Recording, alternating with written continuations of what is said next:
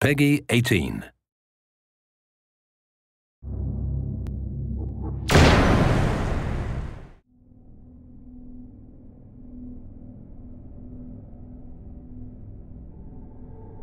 I'm Tommy Jacob, the creative director on Ghost Recon Future Soldiers multiplayer. In Future Soldier, we have two equally equipped factions, the Ghost and the Bodark. Within each faction, you have access to three different roles, the Rifleman, the Scout, and the Engineer. The Rifleman is a forward assault heavy hitter.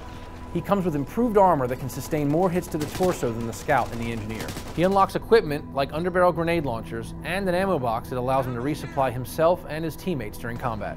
He also has access to assault rifles and light machine guns. The LMGs are the only weapons that cause suppression.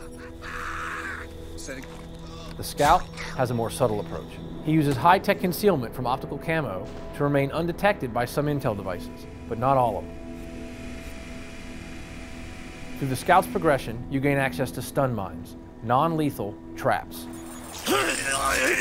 Stun mines incapacitate your enemies, setting them up for a data hack providing intel to you and your team. I can feed, stand by. You'll also have the choice of upgrading to augmented camo, which allows you to remain concealed while on the prowl.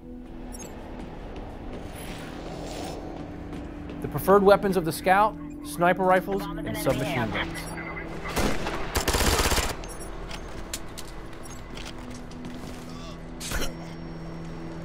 The engineer is an intel specialist. Sensor deployed. He comes equipped with a laser warning system that detects when he's within an enemy's scope. He unlocks some of the coolest equipment, including the drone, which collects intel to share with his team, and the sentry turret to use for that extra line of defense. The engineer uses shotguns or personal defense rifles as his weapon of choice.